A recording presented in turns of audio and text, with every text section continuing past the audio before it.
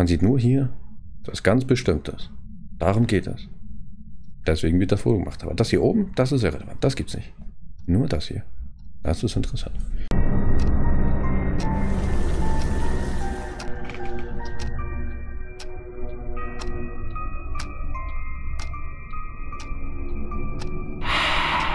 Welcome back, Ladies and Gentlemen. Ich bin Psycho. Ich bin wieder am Start mit einer weiteren Runde Phasmophobia und wir befinden uns heute im Willow Street House.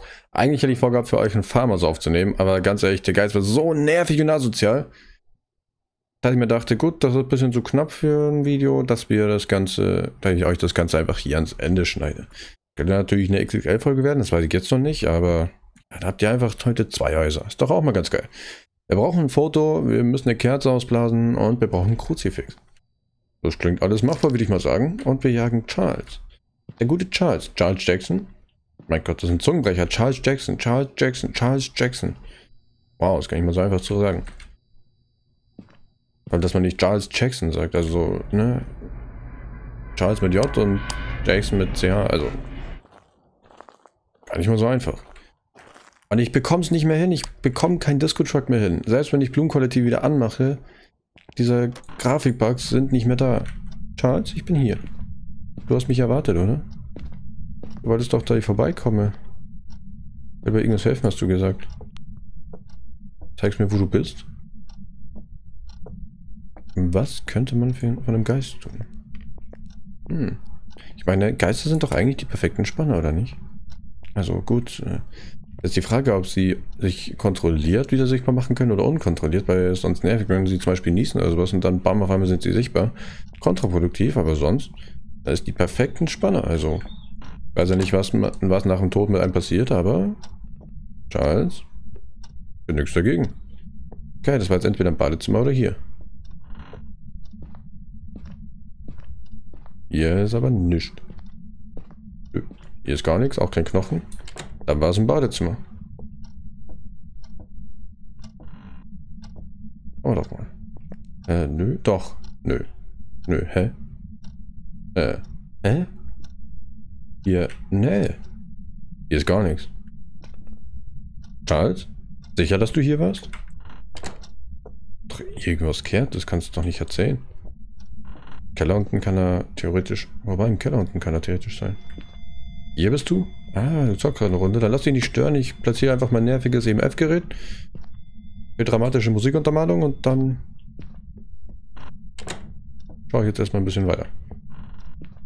Irgendwas. Ah, wusste ich doch. Ich kann sagen, irgendwas mal hier. Gut, wir gehen nochmal zurück. Klingt hoch, aber 5 hoch? Jupp, auf jeden Fall 5. Also ihr merkt schon, das ist ein richtig nerviges Geräusch, richtig hoch.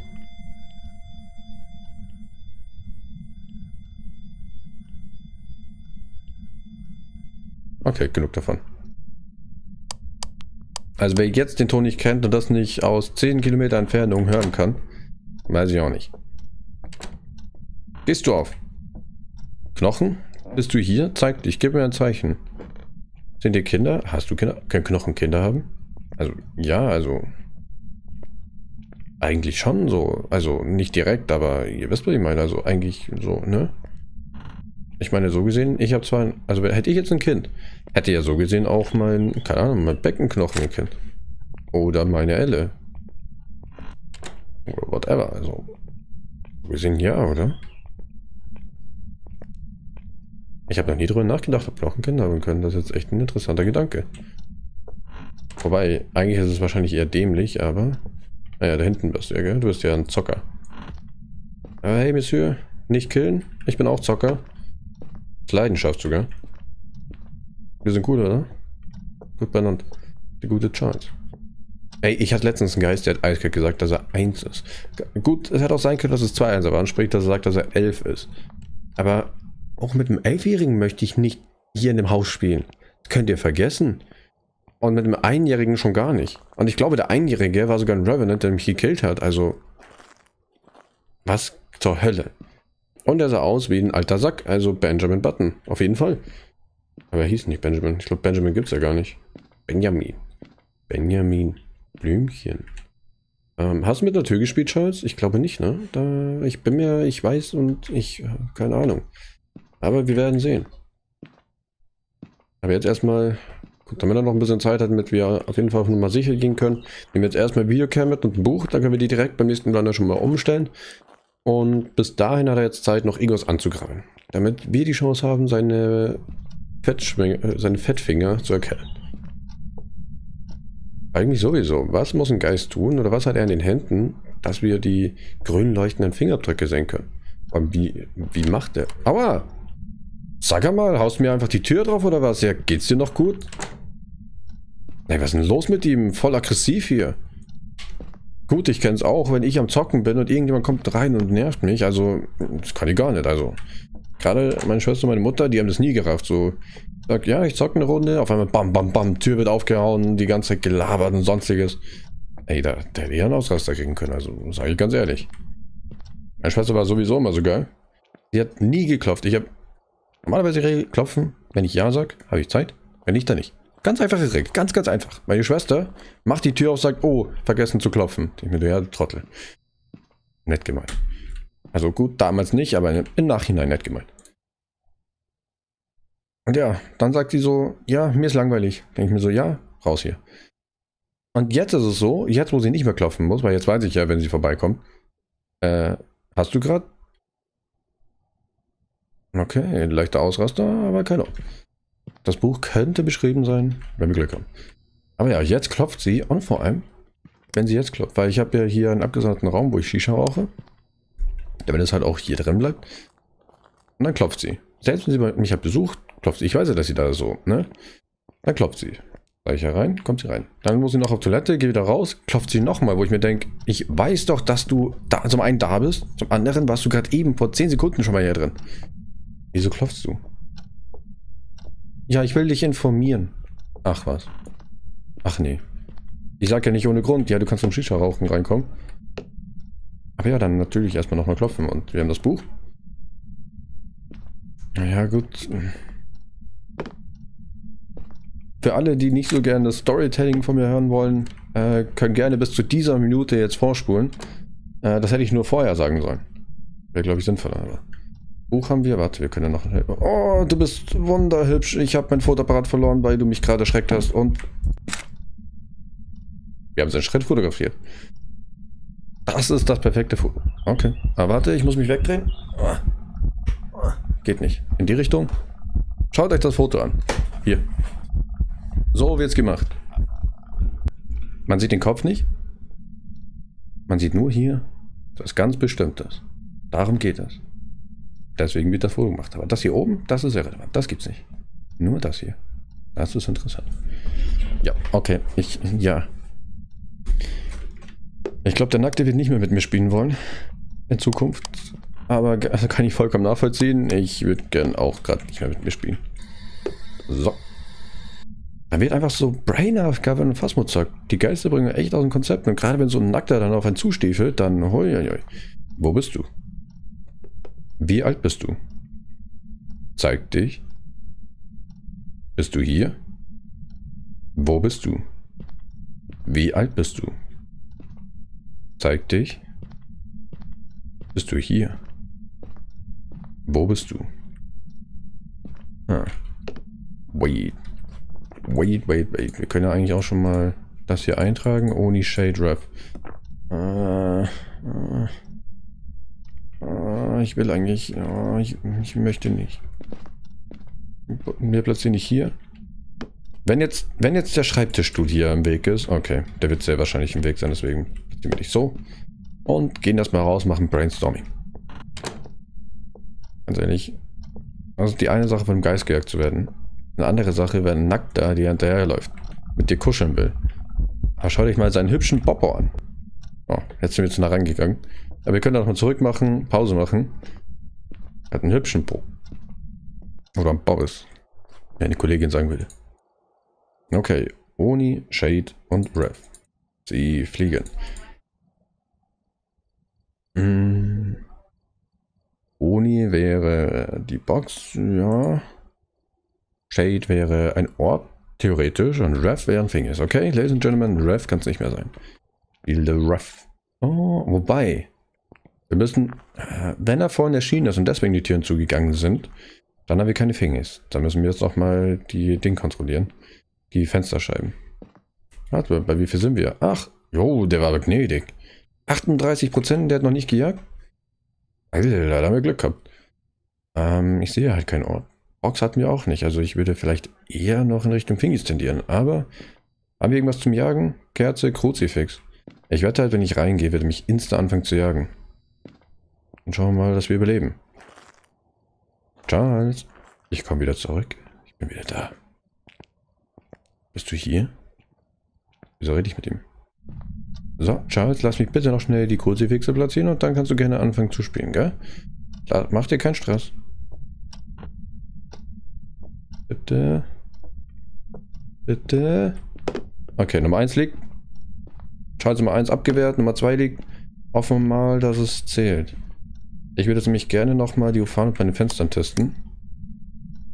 Hm. Das ist schwer einzuschätzen. Wie gesagt, ich weiß nicht, ob er die Tür bewegt hat. Das ist jetzt ein großes Problem. Es könnte sein, es könnte aber auch nicht sein. Interessant ist nur, dass er immer noch nicht jagt. Wir sind schon weit gedroppt. Wo bist du? Wie alt bist du? Zeig dich. Bist du hier? Wo bist du? Wo bist du? My heart skips, skips a beat. Ah. Aber der ist, der ist heiß auf mich. Also ganz ehrlich, so häufig wie der jetzt schon gekommen ist. Also. Hm. Hallo, Licht aus. Aber jetzt können wir hier Fingerabdruck checken. Okay, Ladies and Gentlemen, wir haben keinen Rev, Entwarnung. Aber er hat immer noch nicht gejagt. Was ist denn... Hä? Was ist denn los mit ihm? Also, nicht, dass es mich stört, ne? Also, wir werden ja gleich sehen, wie viel Sanity wir noch haben. Also, was ist denn los mit ihm? Nicht nur, dass er geil auf mich ist, nein. Und auch schon, wie ich gerade erwähnt habe, schon ein paar Mal gekommen ist. Erschienen. Ich korrigiere nochmal von vorn. Aber er jagt auch nicht, also. Er will mir nichts tun. Er will nicht, dass ich sterbe, aber... Jo, das kannst du mir nicht erzählen. Also, Gut, ich sage ja immer, jetzt hat es auch endlich getriggert, sehr schön. Ich sage ja immer, die Geister sind langweilig. Aber der Geist, obwohl er nicht jagt, ist richtig asozial, richtig nervig. Hm, aber wir haben keinen Ort. Wir müssen irgendwo die Box haben. Box, Box. Okay, ich würde auch sagen, Ladies and Gentlemen, bevor wir jetzt hier noch in Gefahr laufen, von einem Nackten gekillt zu werden, ich brauche ich gar nicht mehr, nehmen wir jetzt hier einfach noch eine Cam mit. Und gleich können wir noch den, die die, wir können eigentlich direkt die Kerzen mitnehmen. Ich habe ja noch einen Slot frei. Oh mein Gott. Okay. Ich weiß nicht, was mit ihm los ist. Also, seltsam. Gerade eben auch, als er erschienen ist, ist er von draußen reingekommen. Er dachte, ich sage jetzt, er ist von draußen gekommen. Nee, nee, nee. Aber das ist auch nicht so zweideutig. Kann man nur ein bisschen zweideutig verstehen. Okay, deswegen werde ich jetzt mal hier eine Cam platzieren. Und jetzt müssen wir mal überlegen, wie hatten wir die Cams bis jetzt? Okay, jetzt aus Bett. Okay, wir hatten hier eine Cam hier schräg rüber. Wir hatten eine Cam hier rüber. Und äh, stellen wir jetzt hier eine Cam hin, damit wir hier quer rüber. Okay, hier ist auch das Kurzeffekt, das angeknabberte. Er ist da hinten irgendwo gespawnt. Problem ist, er ist hier gespawnt. Check. Also eigentlich müssten wir da einen Orb haben. Hier in dem Bereich. Denn die Orbs sind da, wo der Geist spawnt. Oder können da sein, besser gesagt. Weil ich meine, er kann ja auch, er ist ja zum Beispiel auch hier gespawnt. Gespawnt. Deswegen, die Cam werde ich jetzt auch noch mal ein bisschen umplatzieren, damit wir das hier so direkt breit drüber haben. Sag mir nicht, du bist jetzt hier.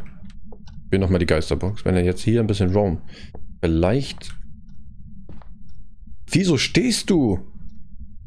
Wie, was? Ja, nee, ist klar. Ich frage dich die ganze Zeit tausend Dinge, du antwortest mir nicht dann rede ich nicht mit dir und auf einmal sagst du, du bist ein Kind, Mann. Ja, habe ich verstanden. Das habe hab ich beim ersten Mal schon verstanden. Jetzt reg dich mal ab, Kollege. Aber es kann doch nicht sein, dass du jetzt hier... Zum einen bist du kein Kind. Du bist größer als ich. Nicht überall. Das kann ja nicht wahr sein. Also, willst du nochmal irgendwas sagen? Vielleicht mir nochmal sagen, dass du ein Kind bist oder sowas? Oder, ne, alles gut, jetzt, jetzt hast du keinen Bock mehr. Okay. Kerze hat er ausgepustet und umgeworfen. Ich würde sagen, Ladies and Gentlemen, wir, wir düsen vielleicht jetzt ab. Also der Geist, der ist mir ein bisschen suspekt. Hm. Da kriege ich eine Gänsehaut. Der ist mir irgendwie, der ist mir nicht geheuer. Weil ich mir überlege, dass ich am Anfang rumgeschätzt habe mit Spielchen und sowas und jetzt sagt er mir, er ist ein Kind. Ah, böses, faul, böses, böses, böses Thema. Da, ich habe nichts gesagt. Das ist ja zum Glück nur ein Spiel. Wir haben alles, 88% Sanity, wir haben die Geist eingetragen. Oder haben wir? Ne, haben wir nicht. Box, also haben wir einen Oni. Und ich würde sagen, wir düsen jetzt ab. Also, na, Charles Jackson, äh, geiler Name, aber du bist, du bist echt weird, aber das können ja dann die Zuschauer dann entscheiden. Aber euch wünsche ich jetzt dann erstmal noch viel Spaß mit dem nächsten Haus und zwar ähm, mit einem Farmhaus, in dem es ein bisschen anders lief als erwartet. Wir befinden uns im Grafton Farmhaus. Die meisten werden wissen, dass ich die Farmhäuser überhaupt nicht leiden kann. Das liegt daran, dass ich meine negativsten Erinnerungen an meine Anfangszeit aus den Farmhäusern habe. Denn da gab es zwar die Möglichkeit zu lupen, doch das kannte ich damals nicht. Es gab keine Spinde, es gab keine Schränke. Auf gut Deutsch, wenn er Geist gejagt hat, war ich in der Regel tot. Das, äh, ja, deswegen mache ich die Farmhäuser nicht, aber in letzter Zeit zocke ich sie so häufig, dass ich mich langsam dran gewöhne. Helen. Helen Robinson. Äh, Helen mag ich nicht. Irgendwie. Ich glaube, die Geister wissen genau, dass ich mir den Namen nicht merken kann und den auch nicht so schön finde. Und deswegen treten sie mir immer ganz gerne in den Arsch.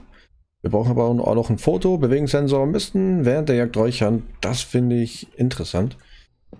Und da gehen auch Grüße an die Schnitzelqueen raus. Ich glaube, sie schaut die Videos nicht. Aber sie ist richtig krass. Stufe 55 ist sie, glaube ich, jetzt. Relativ noch am Anfang. Ich glaube sogar noch ein bisschen niedriger, 35 oder sowas. Doch sie hat es geschafft, den Geist zu räuchern und durch ihn durchzulaufen, damit sie in ein Safe Spot kommt. Und Ladies and Gentlemen, ich bin auf 1500, 1555 um genau zu sein. Richtig geile Zeit. Und nicht mal ich traue mich das. Wenn ich den Geist räuchere, drehe ich um und gehe in die andere Richtung oder laufe in die andere Richtung weg. Aber ich würde niemals durch den Geist hindurchlaufen. Alter Vater. Also da auf jeden Fall Respekt und Grüße gehen raus. Und das würde ich auf jeden Fall jetzt demnächst auch mal versuchen. Beziehungsweise schaffen. Nur zu versuchen wäre irgendwie... Ja, ich glaube, ich würde mad werden, wenn ich da verrecke. Aber... Alter Vater, also da... Servus Knochen, wie geht's? Kommst du öfter, ja? Ich habe doch hier, da kannst du mir, hier war doch, oder nicht? Doch, sicher. Scheinbar nicht. Dachte, hier wäre was. Ah, Helen, bist du hier? Zeig dich. Kannst du mir ein Zeichen geben? Sind hier Kinder? Bist du alleine? Willst du ein bisschen Fangen spielen? Ich kann auch Verstecken spielen, mir ist das egal. Nur ein bisschen unfair, da du ein Geist bist. Helen? Na komm. Wo bist du? Hallöchen. Ah, sie möchte nicht Fangen spielen. Habe ich nichts dagegen? Äh, pup. Erst mit dem Breaker machen und dann geht's weiter. Okay, Madam, zeig dich. Bist du hier? Ja? Nein? Vielleicht? Kennt ihr das noch? Ja, nein, vielleicht. Die Zettelchen, die man sich damals in der Schule noch geschrieben hat, als man noch jünger war. Ja, Helen, du darfst gerne mitreden. mein Gott, meine Stimme. Äh, ich drücke einfach währenddessen die ganze Zeit V, damit Helen mich auf jeden Fall hört. Aber das war noch die gute alte Zeit. Man hat sich nicht getraut, mit, einem Mädchen zu reden. Oder andersrum mit einem Kerl. Man hat dann erstmal so ein kleines Zettelchen fertig gemacht. Draufgeschrieben, ja, willst du halt was machen oder willst du mit mir reden? Oder was schreibt man da? Was hat man da draufgeschrieben? Ich kenne es nur, willst du mit mir gehen? Ja, nein, vielleicht. Aber ganz ehrlich, hat schon mal jemand vielleicht ange angeklickt, würde ich schon sagen, mein Gott. Man merkt, in welcher Zeit wir gerade leben. Äh, angekreuzt. Richtig oldschool. Hey, ganz ehrlich, was. Wieso schreibt man dann vielleicht drauf so, hm, er möchte vielleicht mit mir gehen. Was sagt mir das jetzt? Keine Ahnung. GG. Äh, Helen, bist du hier? Bist du gerade im Schlafzimmer? Darf ich reinkommen? Wow, man kann ja nicht mehr anklopfen, fällt mir gerade auf. Wir betreten einfach so ein Schlafzimmer, in dem der Geist sein könnte. Der Vorteil ist, das ist, ist scheißegal, ob der Geist angezogen oder nackt ist. Man sieht ihn ja sowieso nicht, außer er will das. Und wenn er will, dass er nackt gesehen wird, dann wisst ihr Bescheid. Da hat er was ganz Bestimmtes vor. Helen? Mädel, du hast doch irgendwo schon was geworfen. Kannst mir doch nicht erzählen. Bist du hier? Ne? Wieso nicht? Ich kann so nicht arbeiten. Das hat der einzige Nachteil an den Kopfhörer. Man hört nicht ganz so viel. Aber dafür ist es alles basslastiger. Das ist richtig geil, aber. Muss richtig laut machen. Helen. Gib mir ein Zeichen, zeig dich. Hier hinten war ich, als ich was gehört habe. Helen. Und ich habe schon wieder was gehört. Immer wenn ich in die Küche gehe, höre ich was. Ah. Ha! Oh oh. Und wir haben Freezing. Okay. Ähm, yo, Helen. Werde nicht übertreiben. Aber zumindest schon mal... Okay, sie ist neben mir. Ich schaue gerade in mein Büchlein. Sie will wahrscheinlich mitraten, was sie ist. Vielleicht weiß sie es ja selber nicht. Im F. Fingies. Helen, hast du gehört? Fingies. Oder... Oder ein Orb. Worauf hast du Lust? Hm. Äh, krabbel mal irgendwas an, dann kann ich dir sagen, ob du jetzt Fingies hast oder eher ein Orb. Okay, sie versucht schon in Richtung Tür zu gehen. Dann jetzt erstmal rausholen. Äh, genau, Fahrlampe. Warte mal. Drop that shit. Ja, nur Fahrlampe und eine Cam. Und ja, gut, die Nebenquests, die werden da noch nervig, da wir auch noch jagen lassen müssen. Wir sind, glaube ich, gut unterwegs, also es könnte nervig werden. Ja, wir müssen noch ordentlich droppen, das werde ich dann später natürlich vielleicht rauscutten, ganz klar. Vielleicht, dass das nicht zu langweilig wird. Hm, Foto vom Geist. Mädel, hoffentlich bist du kooperativ. Ich habe keine Lust, hier zu lange drin zu chillen. Na gut, wir werden sie auf jeden Fall ein bisschen rauskitzeln. Ich meine, wir haben sogar schon unsere Cam dabei, also... Gut, Esstisch, ne. Das ist jetzt immer so eine Sache für mich als Koch. Da kann ich besseres, was man auf dem Esstisch machen kann, aber gut. Vielleicht hat sie ja Bock drauf. Okay, wir haben Fingis. Helen, wir haben Fingis. Du bist ein... Äh, eine Banshee. Ah, das passt doch sogar. Banshees sind nämlich eigentlich nur weibliche Geister. Und deswegen ist es auch seltsam, wenn hier so ein Kerl hat, der eine Banshee ist, so... What? Aber gut, die... Meine Güte, das war... Jetzt weiß ich, warum es geleckt hat. Oh. Sie freut sich so darüber, dass sie endlich weiß, was sie ist. Helen? Darf ich kuscheln kommen? Oh, sie ist schüchtern.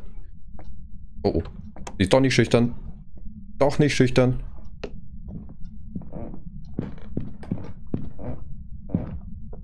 Doch nicht, doch nicht schüchtern, doch nicht schüchtern.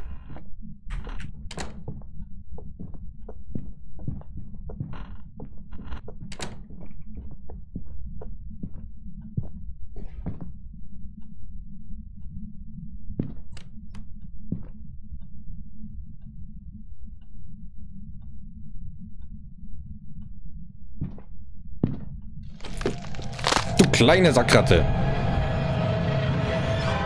Ladies and Gentlemen, ich habe nichts gemacht. Was ist mit Helen los? Kein Geräusch, kein gar nichts. Ich habe nichts gemacht. Ich glaube, ich schneide das einfach bei der... Ich schneide das einfach ans Ende von irgendeiner Folge. Ganz ehrlich. Ihr habt das gehört oder nicht gehört? Ich habe nichts gemacht. Ich stand einfach nur drin, auf einmal kommt sie straight zu mir hin, reißt den Schrank auf, killt mich. Scheiß Banshee. Ha, ja.